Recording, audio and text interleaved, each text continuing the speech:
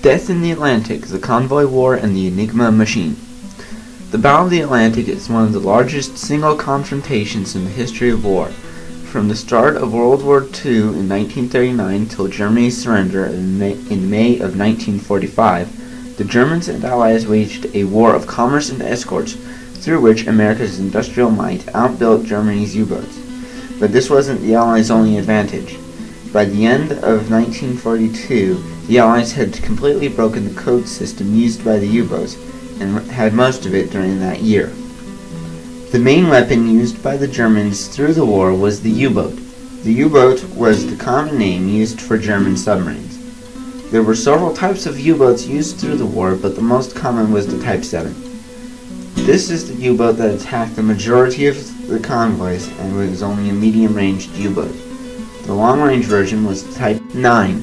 These boats worked off the U.S. coast and a little bit in the Indian Ocean, and at least one sailed to Japan. All through the war, the Germans never suspected that their code had been broken. The reason for this was the Enigma machine. The machine itself looks almost like a typewriter, but somewhat different. The differences are the plug-in board at the front, the light-up letters, and the cogs on top of it. It's these cogs that make it work. And it was operated similar to a typewriter with the following exceptions.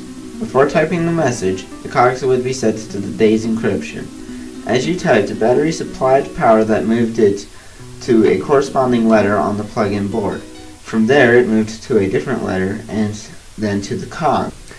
After being encrypted in the cog, it moved to the plug-in board as a completely different letter and to a new letter and then went up to the light up letters to show what the encryption was. A good example is that if you typed S at the beginning of a message, it might come out as B. But if you typed it at the end, it might come out as H. At first, the Germans used a 3-cog machine, but by mid-41 they had switched to a 4-cog version, which was even harder to decrypt if you didn't have the code. However, there were other ways to get intel from radio messages besides hmm. decrypting them. One was direction finding, to get the approximate location of U-boats. This wasn't normally difficult due to the large amount of radio traffic, but very early in the war, in the campaign off the U.S. seacoast, and in a 1944 inshore campaign on Britain, there was very little radio traffic. On the other hand, from the autumn of 1940 through mid-41 and mid-42 through mid-43, there was a lot of radio traffic, so even if it couldn't be read, they could get a bearing. Then there was traffic analysis. In this field, they would piece together what different signals meant. For example, if they saw one type of signal before a large-scale attack and then saw it again a few months later, they would be able to warn ships in the area. At first, this intel was simply used to divert convoys from dangerous waters, and if the British had controlled the U.S. Navy, that this is all that would have been done. In mid-1943, the U.S. took the offensive, using the intercepted messages referred to as special intelligence to hunt down and destroy as many U-boats as possible. The hunter-killer groups as they became known were made up of an escort carrier, couple of destroyers, and about five destroyer escorts. In late 1940, they had quite efficiently cleared the seas of U-boats. However, the Germans did not give up without a fight. Though U-boat losses were starting to increase in 1943, they hoped that the new electric and schnorkel boats such as the Type 21 and Type 23, if made operational in late 43, could change the tide of the war. It was as it was, the Type 21 wasn't ready till mid to late 44, and by then it was far too late to impact the war. Also in 43, the Allies started using new and more effective ASW weapons, one of the best known ones being the Hedgehog. The way the Hedgehog worked was by firing a large amount of contact bombs at the area the sub was in. With this method, the sonar could keep a lock on the target because they would only explode if they hit the sub. This and other weapons doubled the kill rate.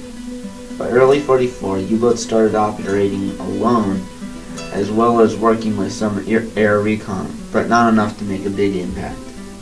In addition, between January and March of 1944, the Germans lost 36 boats for only three merchants. Also thanks to special intelligence, air patrols were able to turn the Bay of Biscay into a U-boat death trap, forcing them to cross either submerge or operate from elsewhere. On the whole, this was a hard-fought battle, with it conceivably going either way. However, the one thing that tipped the balance in our favor was the breaking of the Enigma code. By doing this, we knew where the U-boats were, how many were out, which convoys they planned to attack, and so forth. We also knew where to attack them, where to move convoys, and more. To summarize, without the help of special intelligence, the battle for the Atlantic would have lasted a lot longer or could have been lost. Without the work of the code breakers, the world would be a very different place. If you'd like to learn more on this subject, you can search online or go to the Mariners Museum website and see their online exhibits at www.marinersmuseum.org. Or you could come out to the Mariners Museum itself and see the many exhibits including the new Monitor Center and the Crabtree ships.